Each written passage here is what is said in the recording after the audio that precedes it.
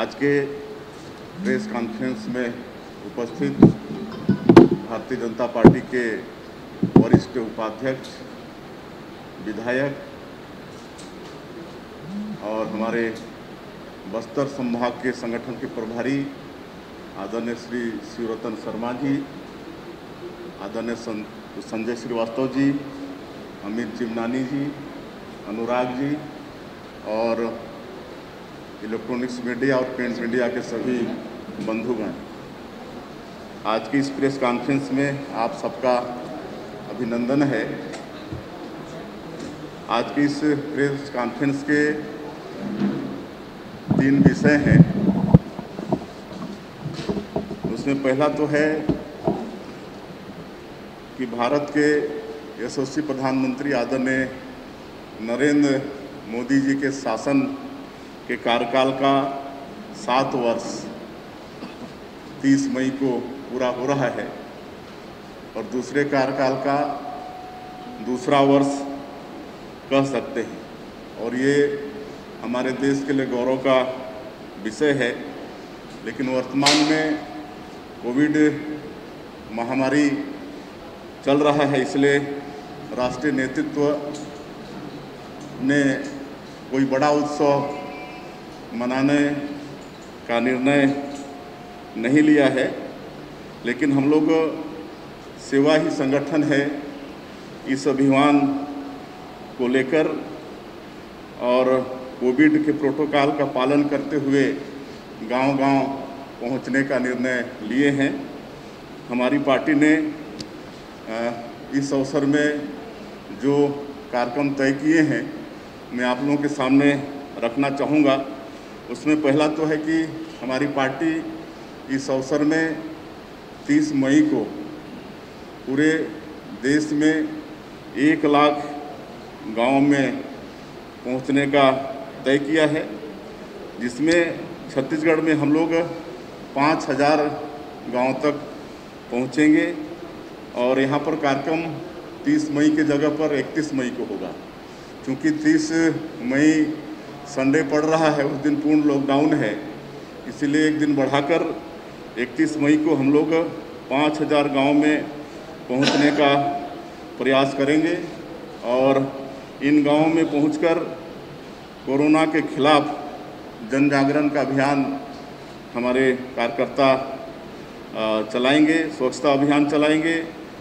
Oxygen और तापमान आदि का जाँच, ये सब कार्यक्रम करेंगे और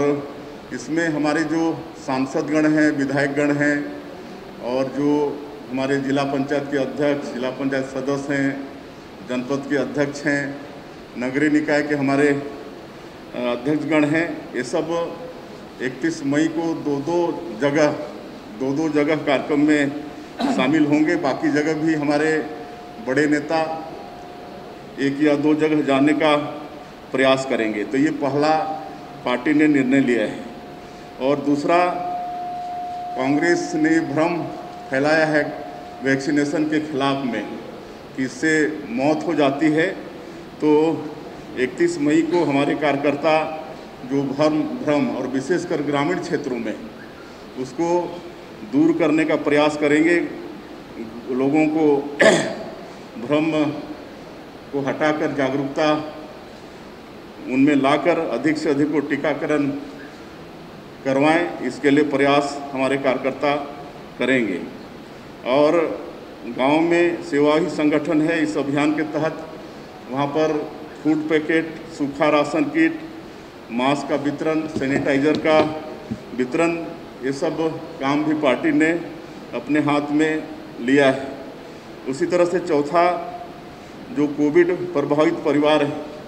उनसे मिलने का काम भी हमारे नेतागण, कार्यकर्तागण करेंगे और जिस परिवार में कोरोना महामारी से दिवंगत हो गए हैं, वहाँ पर जाकर उनको सांत्वना देना, संवेदना प्रकट करना, ये भी हमारे नेतागण, कार्यकर्तागण करेंगे और उनको किस तरह से सहायता की जा सकती है, ये भी हमारे कार्यकर्ता वहाँ पर देखेंगे। और पार्टी ने भी तय किया है कि प्रभावित जो परिवार हैं कोविड से, उनका एक डाटाबेस भी बनाने का प्रयास हमारी पार्टी करेगी। और केंद्रीय नेतृत्व ये तय किया है कि इस अवसर में रक्तदान शिविर भी जगह जगह पर लगाए जाएँगे, विशेषकर हमारे जो मोर्चा और युवा मोर्चा के जो कार्यकर्ता हैं, वो ब्लड डोनेशन कैंप भी लगाएँगे। तो ये छः मुख्य बिंदु ये काम आने वाले 31 मई को छत्तीसगढ़ के अंदर में हमारे भारतीय जनता पार्टी के सभी नेतागण, हमारे सांसदगण, विधायकगण और जो पंचायती राज नगरीय निकाय क्षेत्र के निर्वाचित जनप्रतिनिधि हैं और कार्यकर्ता हैं, ये सब काम करने वाले हैं। तो ये पहला हो गया विषय और दूसरा विषय है बंगाल हिंसा के संबंध में। सबको मालूम है कि पश्चिम बंगाल में, विधानसभा चुनाव में भारतीय जनता पार्टी को ऐतिहासिक सफलता मिली है। हम लोग पिछले विधानसभा में मात्र तीन सीट वहाँ पर जीते थे और तीन सीट से सीधे छिहत्तर, सतहत्तर सीट में हम लोग पहुँच पहुँच गए हैं। और हम ये कह सकते हैं कि अगर वहाँ पर कांग्रेस और वामपंथी, टीएमसी से अगर गठबंधन नहीं करते तो निश्चित रूप से भारतीय जनता पार्टी की सरकार वहाँ पर बनती लेकिन तीन सीट से सतहत्तर सीट में पहुँचना 25 गुना सीट में वृद्धि और वोट प्रतिशत 33 प्रतिशत से अधिक, ये भारतीय जनता पार्टी के लिए एक ऐतिहासिक उपलब्धि है। लेकिन इस भारतीय जनता पार्टी की जीत को तृणमूल कांग्रेस कांग्रेस और वामपंथी पचा नहीं पा रहे हैं और कम्युनिस्ट तौर तरीके से ममता बनर्जी की जो टीएमसी पार्टी है, पूरे बंगाल में भारतीय जनता पार्टी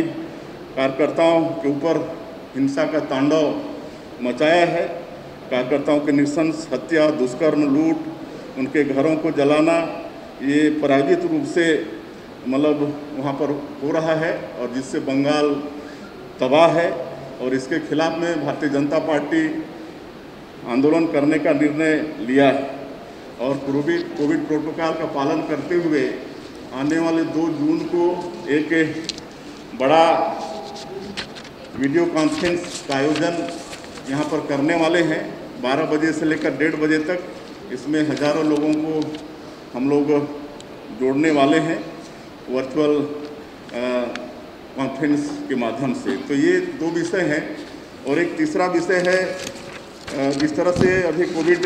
महामारी चल रहा है और कई प्रदेशों में ये देखा जा रहा है कि जो कोविड से पीड़ित परिवार है या कोविड से परिवार में किसी की मृत्यु हुई है या जो बच्चे अनाथ हो गए हैं, जिनके माता पिता दोनों दिवंगत हो गए, छोटे बच्चे हैं तो इस सब की चिंता कई प्रदेशों में अच्छे से हो रही कुछ प्रदेश में जो अनाथ हो गए हैं, उनको पाँच हज़ार रुपया मासिक पेंशन पढ़ाई लिखाई की चिंता या छोटे छोटे रेहड़ी खुमचा वाले हैं,